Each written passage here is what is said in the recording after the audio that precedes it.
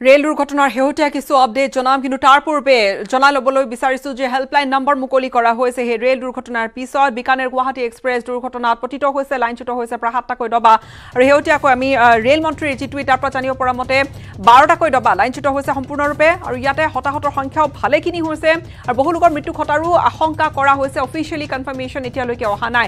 Helpline number মুকলি কৰা হৈছে। জনাম helpline number zero' three six one two seven three one six two two আনটো হেল্পলাইন নম্বৰ হৈছে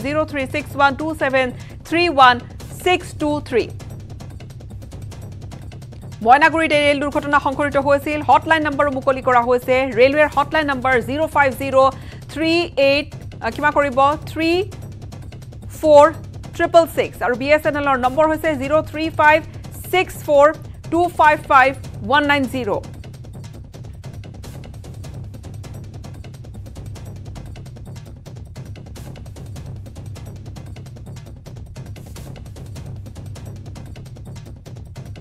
rail দুৰ্ঘটনা সংঘটিত হৈছে মুকলি কৰা হৈছে হেল্পলাইন নম্বৰ হটলাইন নম্বৰ আৰু সেই ৰেল দুৰ্ঘটনাত শেহতীয়া যি হতাহতৰ খবৰ সেয়া সম্পূৰ্ণৰূপে জনাব পৰা নগ'লেও কিছু তথ্য জানিব পৰা গৈছে।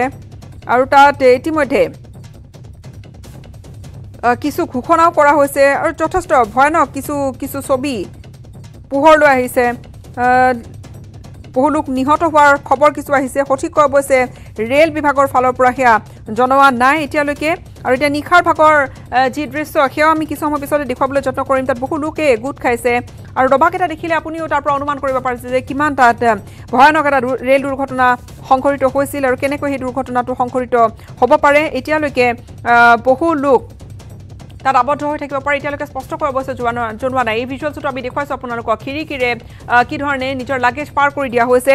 আৰু শেহতীয়া এটা আপডেট তিনিগৰাকীৰ মৃত্যু ঘটাৰ খবৰ আহিছে। দহ বিছগৰাকী যথেষ্ট গুৰুতৰভাৱে আহত হৈছে। পুনৰ জনাম তিনিগৰাকী নিহত হোৱাৰ খবৰ আহিছে ৰেল দুৰ্ঘটনাত। D M S P I G north Bengal সকলো ইতিমধ্যে ৰাওনা হৈছে। এম্বুলেন্স প্ৰেৰণ কৰা হৈছে আৰু নিশা ফুড পেকেটৰ বাবে খাদ্য সামগ্ৰীৰ বাবে ব্যৱস্থা কৰা হৈছে যাতে যিসকল যাত্ৰী তেওঁলোকে কথমপি প্ৰাণ ৰক্ষা পৰি আহিছে তেওঁলোকে যিহেতু নিশাটো কটাব লাগিব বা যিসকল তাতে তেওঁলোকক আন ঠাইলৈ ততাতৈয়াকৈ লৈ যাব পৰা হোৱা নাই তেওঁলোকৰ বাবে ব্যৱস্থা কৰিব লাগিব আৰু সেই অনুপাতে খাদ্য সামগ্ৰী আদিৰো যোগান কৰা হৈছে। নিশাৰ ভাগৰ কিছু দৃশ্য এই মুহূৰ্তত পোহৰলৈ আহিছে। আৰু সেয়া আমি কিছু সময় পিছতে দেখুৱাবলৈ চেষ্টা কৰিম। তিনিগৰাকী লোকৰ মৃত্যু হোৱাৰ খবৰ আহিছে।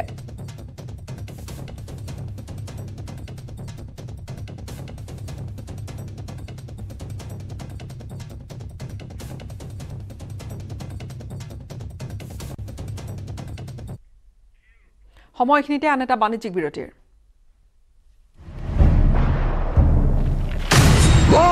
এতিয়া বিশ্বই জানে ষ্ট্ৰং মানে মাইথান নিৰ্মাণৰ মানদণ্ড।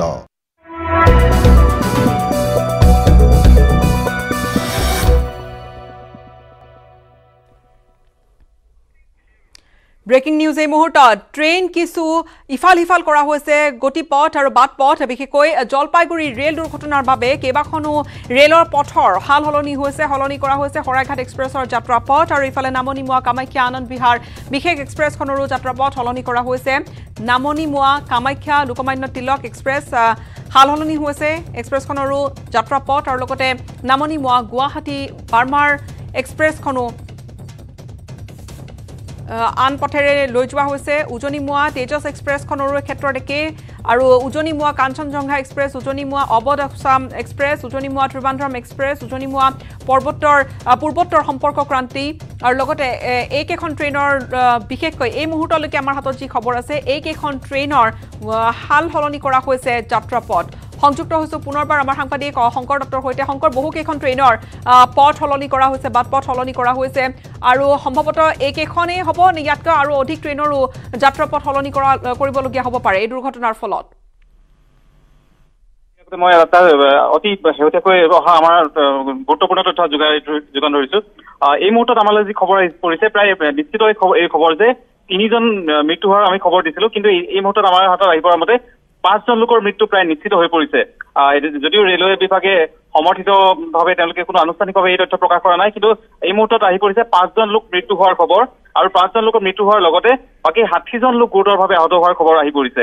গোটেই ঘটনা আটাইতকৈ যি এই ৰেল দুৰ্ঘটনাটো সংঘটিত হৈছিলে এই ৰেল এই ৰেল দুৰ্ঘটনাটোৰ সময়ত আটাইতকৈ বেছি ক্ষতিগ্ৰস্ত হৈছিলে এছ ছিক্স নম্বৰ ডবাটো যি তিনিটা ডবা আমি ক্ষতিগ্ৰস্ত হোৱা দেখা পাইছিলো তাৰ তিনিটাৰ ভিতৰত আটাইতকৈ বেছি ক্ষতিগ্ৰস্ত হৈছিলে এছ ছিক্স ডবাটো আৰু এই ডবাটোতে সংঘটিত হৈছিলে আটাইতকৈ বেছি গুৰুতৰভাৱে আঘাতপ্ৰাপ্ত হোৱাৰ খবৰ লাভ কৰা গৈছে। যদি তাত নিহত হোৱাৰ যদি আমি খবৰবিলাক প্ৰকৃততে সত্য হয় তেতিয়াহ'লে এই এই ডবাটোতে আটাইতকৈ বেছি ক্ষতি হৈছিলে।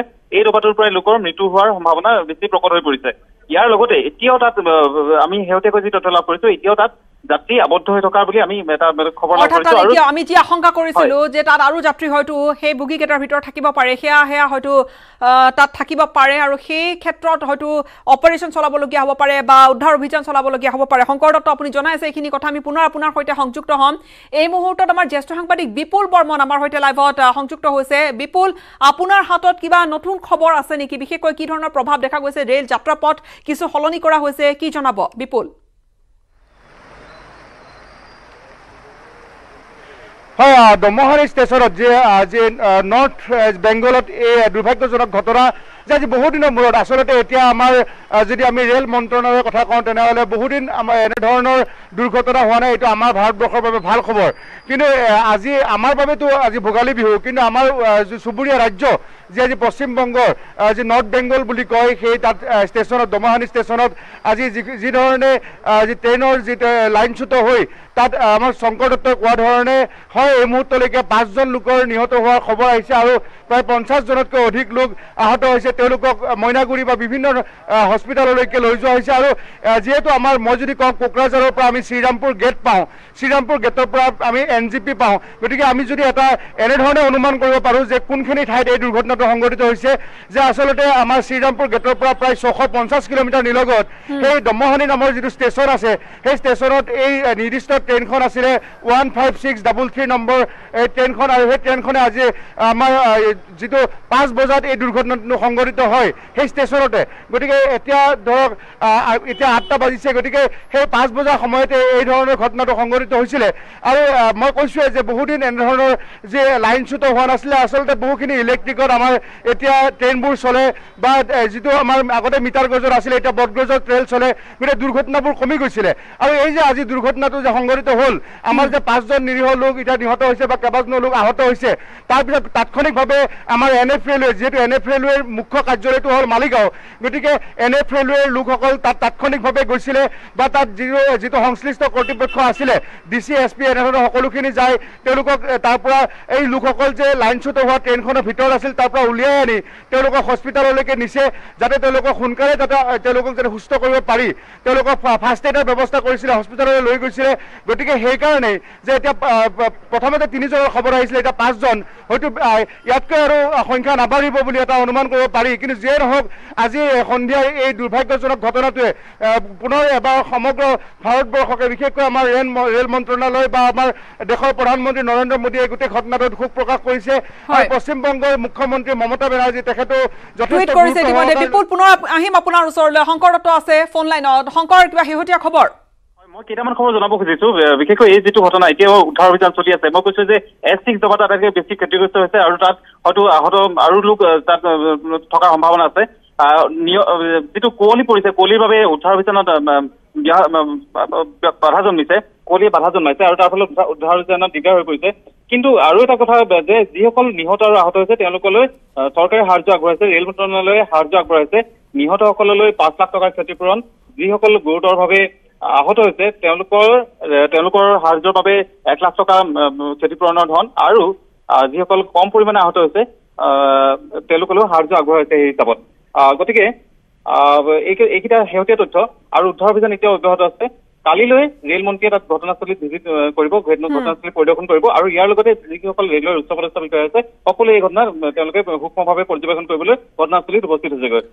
হয়তো- এক উচ্চ পৰ্যায়ৰ তদন্ত হ'ব। বিপুল বৰ্মন আপোনাৰ ওচৰলৈ আহিছোঁ এইবাৰ। হয়তো এই গোটেই ঘটনাৰ এটা উচ্চ পৰ্যায়ৰ তদন্ত হ'ব। আপুনি ইতিমধ্যে জনাইছে যে বহুদিন আমি এনেকুৱা ধৰণৰ দুৰ্ভগীয়া খবৰৰ মুখামুখি হ'বলগীয়া হোৱা নাছিল কিন্তু বিহুৰ দিনা এনেকুৱা এটা খবৰ আহিল আৰু ইয়াত সম্ভৱতঃ যদি এতিয়ালৈকে স্পষ্ট সেই তালিকাখন ওলোৱা নাই যে ক'ৰ কিমান যাত্ৰী আছিল যিহেতু গুৱাহাটী গুৱাহাটী অভিমুখী আছিল। আমি বাৰম্বাৰ কৈ আছোঁ যে হয়তো সম্ভৱতঃ বা হয়তো ইয়াত গুৱাহাটীৰ যাত্ৰী বা ইয়াত উত্তৰ পূৰ্বাঞ্চলৰ যাত্ৰী অসমৰ যাত্ৰী হয়তো ভালে সংখ্যক আছিল বা থাকিব পাৰে। বিপুল।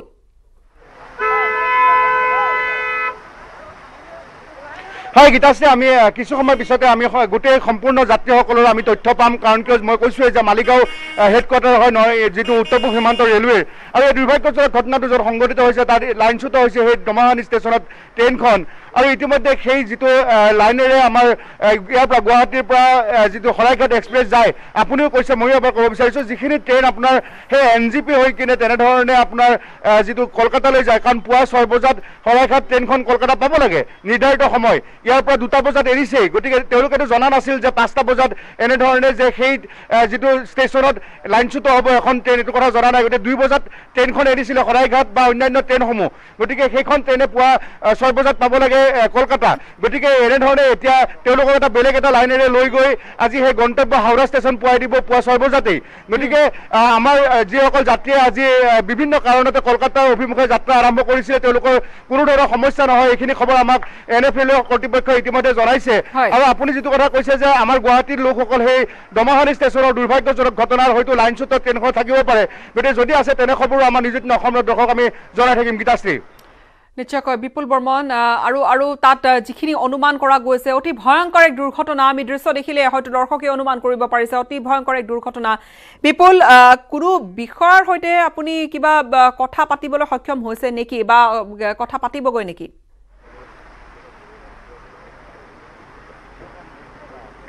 চাওক আচলতে কোনেও ভবা নাছিলে যে আজি আমাৰ কাৰণেতো বিহু আজি উৰুকা গতিকে উৰুকাৰ এটা পৰিৱেশত এনেধৰণে এটা দুৰ্ভাগ্যজনক ঘটনা দুৰ্ঘটনা হ'ব বুলি ভবা নাছিলে।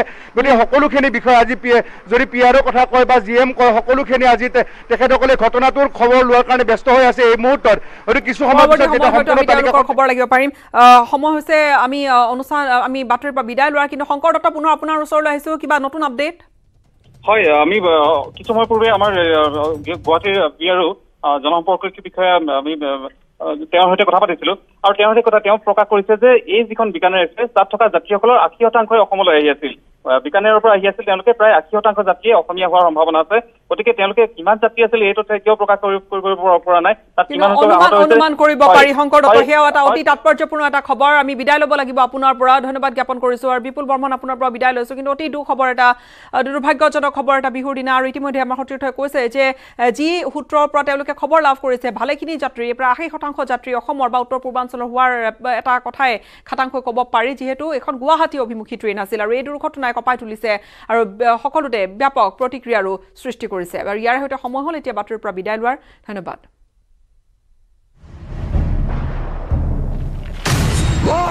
এতিয়া বিশ্বই জানে ষ্ট্ৰং মানে মাইথান নিৰ্মাণৰ মানদণ্ড।